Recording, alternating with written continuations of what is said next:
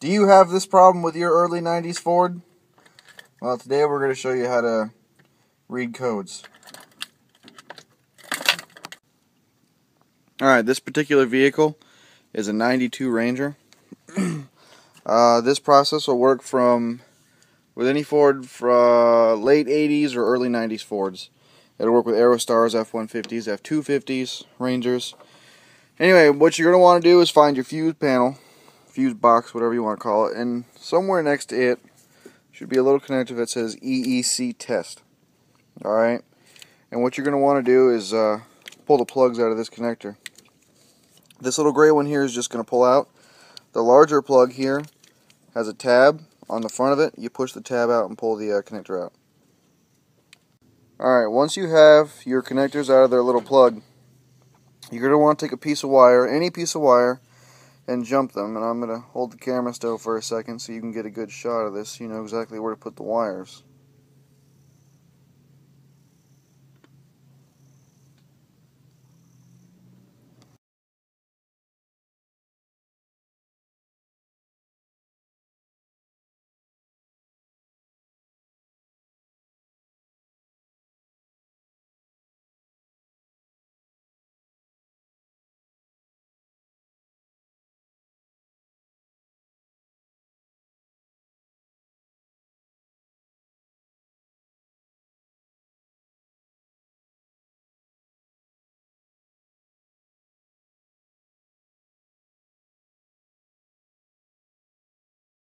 Okay, once you have your wires jumped, you're going to get in your car and you're going to turn your ignition to the run position, but not start it.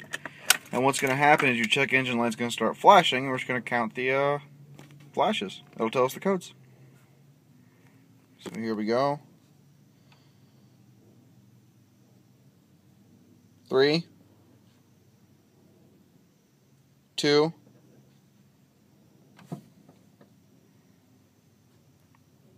Seven. Three, two,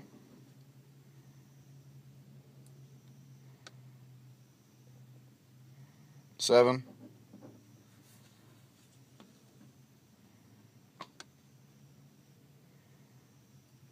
one,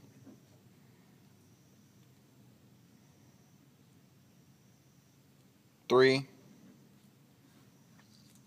two,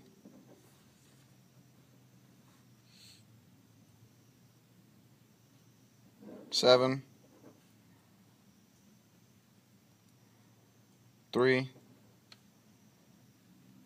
two,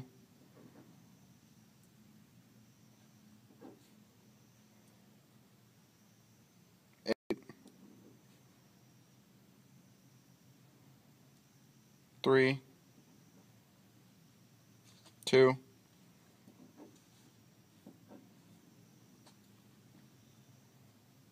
seven, three,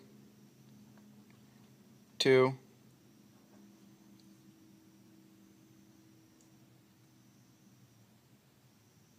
seven. Okay, after you're done reading all your codes, just go ahead and shut the ignition off right now. Now what you're going to have to do, I like to use Google. But you're going to have to take all those codes and you're going to have to figure out what they all mean. Uh, once you figure out what they all mean, you have to address your problem accordingly. And at that point, once everything's fixed, to reset the codes, the easiest way to do it, the easiest way I find to do it, is just to unhook the battery for about 10 minutes and let it sit there. Uh, before you plug the battery back in, make sure you take your jumper wire out, and you're done. Remember to like, subscribe, and Hopefully this helps somebody.